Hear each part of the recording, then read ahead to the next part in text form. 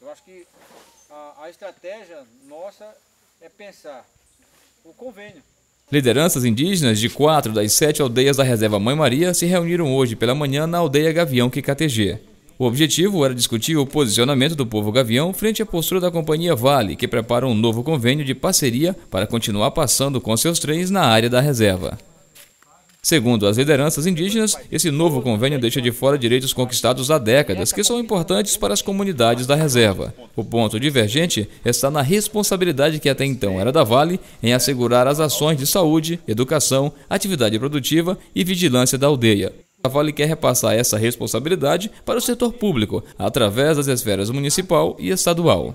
Na realidade, está tendo um impasse entre a população gavião e a Vale do Rio Doce. Né? Já vem se, se, durando quase uns três, já está chegando os três meses. E esse impasse está acontecendo devido a, a Vale do Rio Doce apresentar uma proposta para as comunidades de forma que nós aceitamos da forma que ela quer.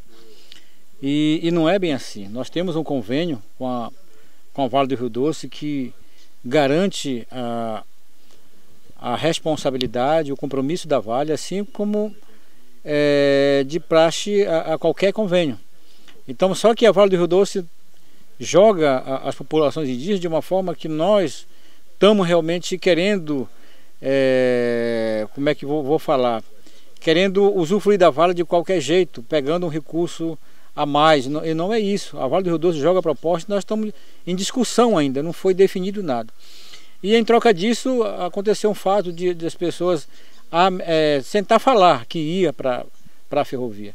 Então e, e, essas coisas vêm se estendendo cada vez mais. Então por isso que hoje nós fizemos uma reunião para conversar a respeito disso. Nós queremos tomar uma atitude com relação a isso mas é, não descartamos ainda a conversa, porque nós sabemos que hoje tudo se constrói conversando.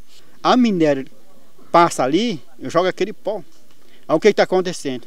Então, o, assim como um peixe, né, como os outros, né, os, o, é, os bichos lá, eles começam, né, a água fica, né, é, como é que diz, é, é poluída.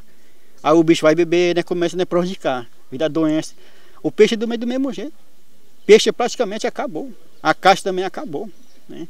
Então, é, é, é, é isso que eu estou falando. E mesmo porque a Vale do Rio Doce está com a ideia de fazer a duplicação da ferrovia. Então, para que isso não vai se durar por muito tempo também, pode ser que o nosso povo não aceite que a Vale do Rio Doce faça a duplicação.